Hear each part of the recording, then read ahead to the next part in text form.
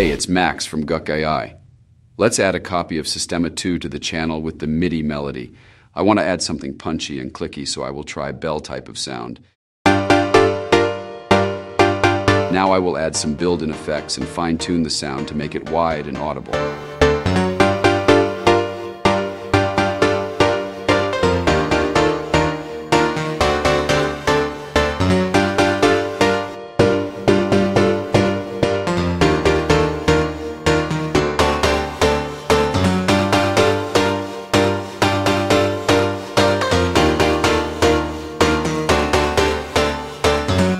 Let's add one more copy of Sistema 2 to the bass channel.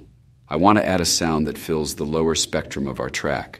Not too prominent, because I don't want to go into the future house, but leave the piano loop as the main part of our track. I will add some sustain and release in expert mode to make the bass more drawn out.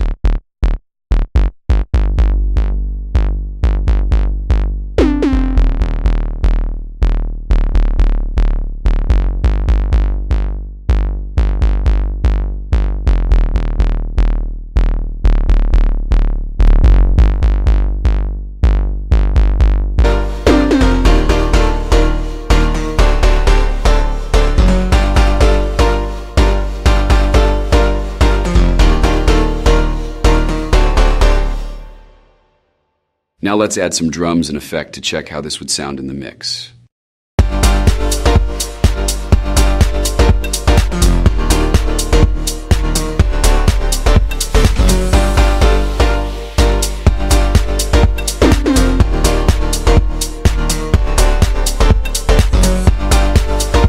Stay inspired and see you later.